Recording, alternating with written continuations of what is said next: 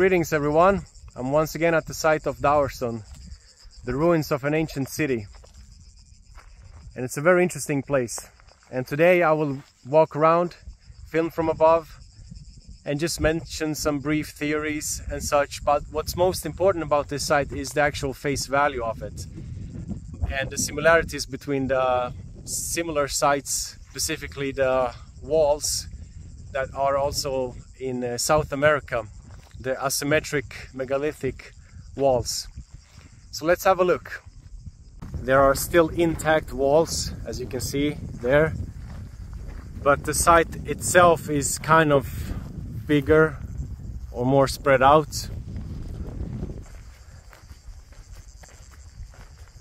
So the first impression are these megalithic blocks that make up the wall and why is the asymmetric structure good? Well, because it withstands earthquakes and shocks much better. So this city, built by who knows who, was made to last. It wasn't a quick project. It's still standing today and it was a pretty huge investment. I'll show you some footage from above, of course but let's just climb up here. To quickly show you the valley below.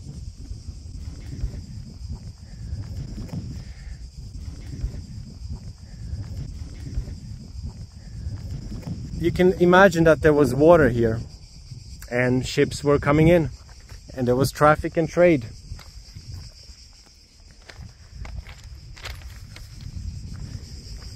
Why is that um, reasonable assumption because there are other sites like these which are in ruins and in even more ruins than this site.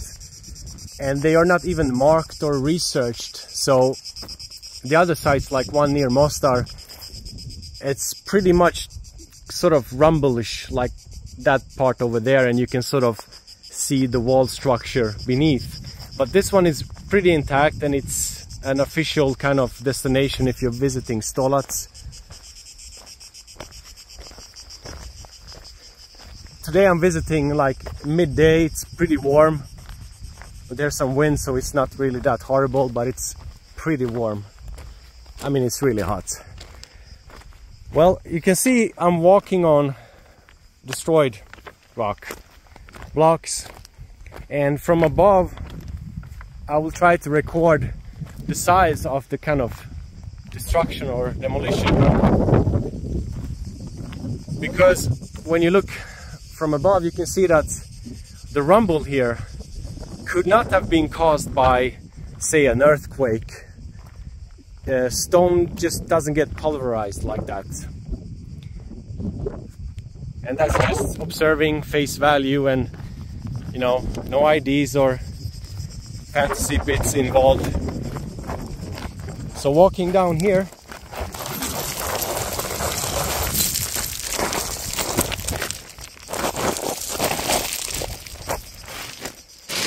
I should rather say gliding down here.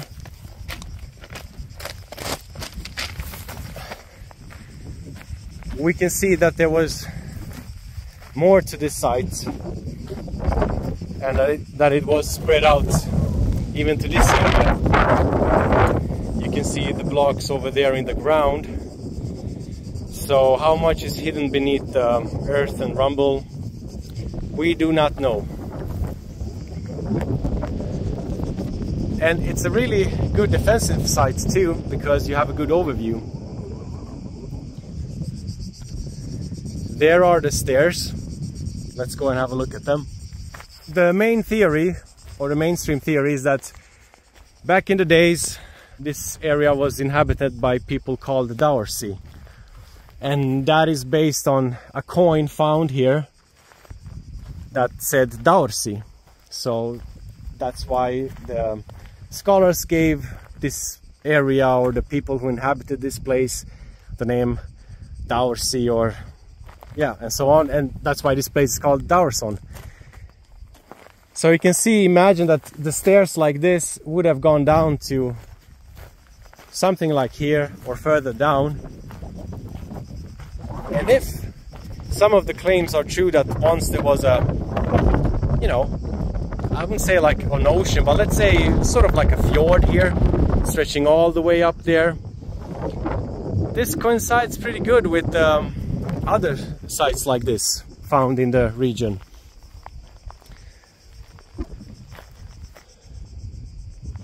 And this site has officially been explored by scholars once. It was like in the 60s in what was then called Yugoslavia, and that's it. So nobody is actually actively researching the site, and there is not much tourism here. You know, few people come and visit this place. There's no entrance fee and such. And that's kind of good that it's so remote because that means that people won't come here and, you know, destroy and just be um, trashy. So the site is pretty remote and um, interesting for anybody who likes to explore and enjoy the ambience of um, of ancient sites. Now that's a beautiful spider's web, really deep down there. You can see there. Well, that's just a side note. Let's go back up here.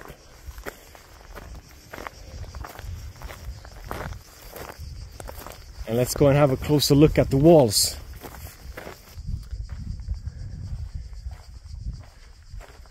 You see it's really tight fit. So this could have been the external or the internal wall. It could wall. and it could have been something um, over it. Who knows? You see that block over there? You can see how massive it is. You can see how wide this one is. So here you get an idea of how thick the walls were. Amazing. And if we look a bit from above you can see how thick this one is. And this one actually doesn't end over there. It kind of stretches all the way beneath the smaller one over there. Incredible it's an amazing sight.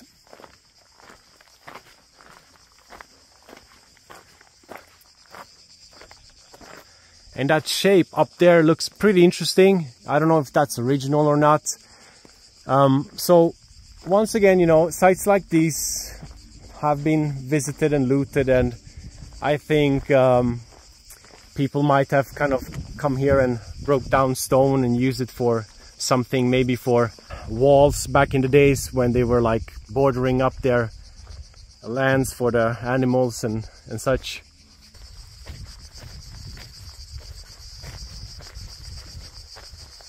as you can see, there are stones and even megaliths scattered around here.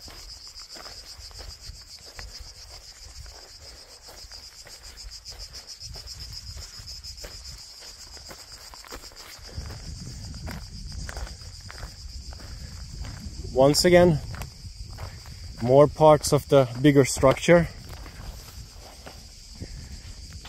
and more valleys where there probably could have been water. Maybe the fjord kind of went in there and ended somewhere there because, you know, the mountains are over there. And yeah, just for the orientation, I forgot, over there we have the ocean. Have a look at this. You see over there? More construction remains and you can see the kind of gravel or destroyed or broken down stones falling down.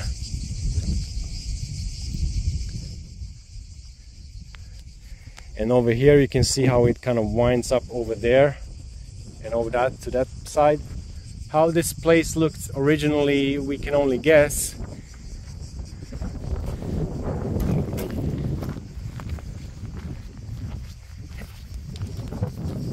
And here we can observe a piece of the wall or construction. Now my guess is that people over the hundreds and hundreds of years have come here and taken chunks of stone and used for whatever their needs were. But over there, you can see a huge block. Pretty amazing.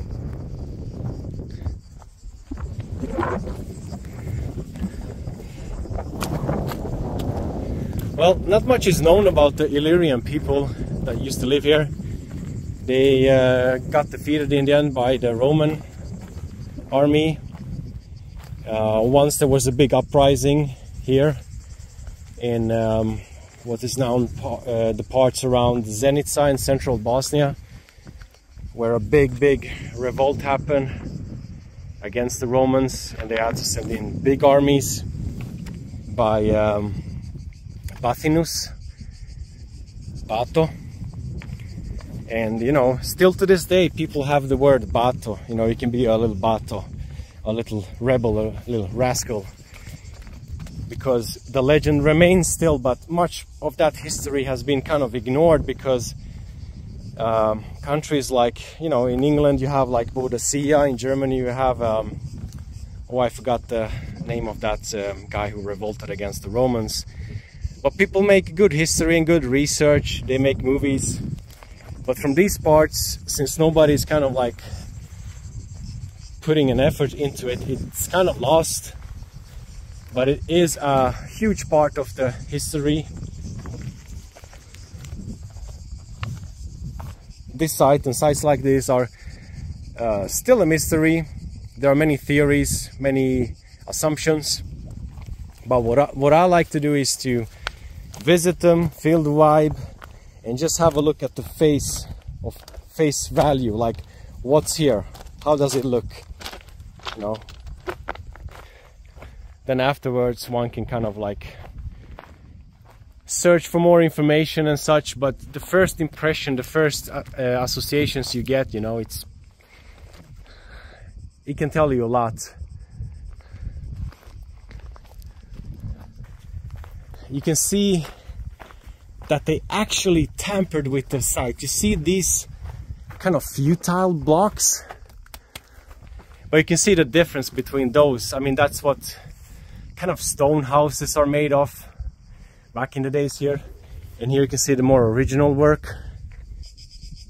So when they tampered with the sites during the one and only official research, they wanted to create a fake gate here and they did that also on this side because this part here is also fake. You see mortar. Naturally this wall is kind of going straight this way. And if we look on this side we find more yeah tempering and looking inside here we can see another block which seems a bit odd or something. It's pretty neatly cut. So yeah, more mortar.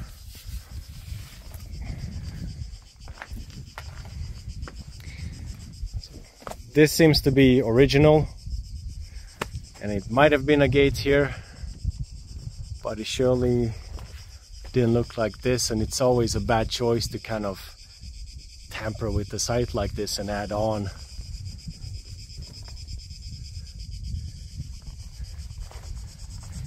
And of course, same here.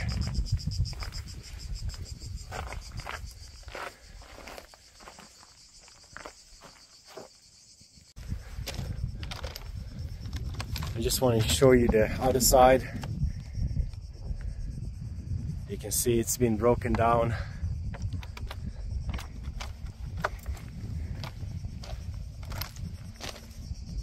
what they did was to build into the mountain with the megaliths and create a city I mean city by what we refer to ancient ancient cities.